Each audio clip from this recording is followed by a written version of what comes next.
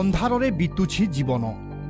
ବିଦ୍ୟୁତ ବିଭାଗର ମନମୁଖୀ କାର୍ଯ୍ୟ ଯୋଗୁଁ ଆଠ ଦିନ ହେଲା ବିଦ୍ୟୁତ ସେବା ବନ୍ଦ ରହିଛି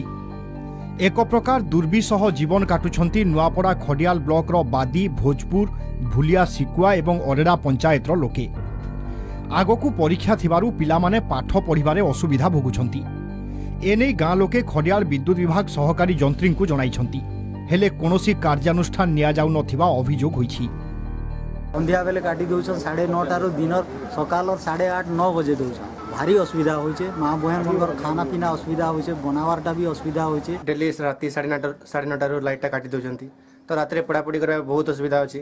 আগর এমতি বহুত বহুত প্রকার প্রবলেম সব দেখে দেখেকি আউ ডেলি সকালে সন্ধ্যার সব সব টাইমরে কাটি দেউছেন সেপটে এ অঞ্চলকু হাতিপল আসুনথিবা বেলে হাতিপলঙ্ক বাহানা দেখাই বিদ্যুৎ কাট করা যাউথিবা গাঁ লোকে অভিযোগ করিছন্তি ତୁରନ୍ତ ସମସ୍ୟାର ସମାଧାନ ନହେଲେ ସହକାରୀ ଯନ୍ତ୍ରୀଙ୍କ କାର୍ଯ୍ୟାଳୟ ଘେରାଉ କରାଯିବ ବୋଲି ଚେତାବନୀ ଦେଇଛନ୍ତି ସେପଟେ ଖୁବ୍ ଶୀଘ୍ର ଗାଁକୁ ବିଦ୍ୟୁତ୍ ସେବା ଯୋଗାଇ ଦିଆଯିବ ବୋଲି ଖଡ଼ିଆଳ ବିଦ୍ୟୁତ୍ ବିଭାଗର ସହକାରୀ ଯନ୍ତ୍ରୀ କହିଛନ୍ତି ଯେଇକି ପଚାରିଲେ ଏସ୍ଡିଓକେ ଫୋନ୍ କର ଏସ୍ଡିଓକେ ଫୋନ୍ ଲଗାଲେ ତାଙ୍କର ଫୋନ୍ ଏକା ନେଇ ଲାଗ୍ବା ତ ଏଇଟା ଆମେ ଯଦି ଏ ପ୍ରକାର ସବୁଦିନ ହେବା ବୋଇଲେ ଆମେ ଚାରିଟା ପାଞ୍ଚଟା ପଞ୍ଚାୟତ ଯେନ୍ ଆମର ଲାଇନ୍ ନେଇ ଦେବାର ସିକ୍ୱା ସେକ୍ଟରଟା ସବୁ ସବୁ ଯାଇକରି ଆମେ ରାସ୍ତାନେ ওলাই করে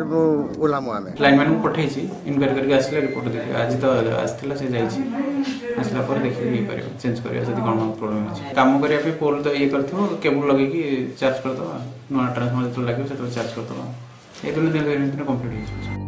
ଗାଁକୁ ତୁରନ୍ତ ବିଦ୍ୟୁତ୍ ଯୋଗାଇ ଦେବାକୁ ଗାଁ ଲୋକେ ଦାବି କରିଛନ୍ତି ନୂଆପଡ଼ାରୁ କୁନୁ କରୁଆଙ୍କ ରିପୋର୍ଟ କଳିଙ୍ଗ ଟିଭି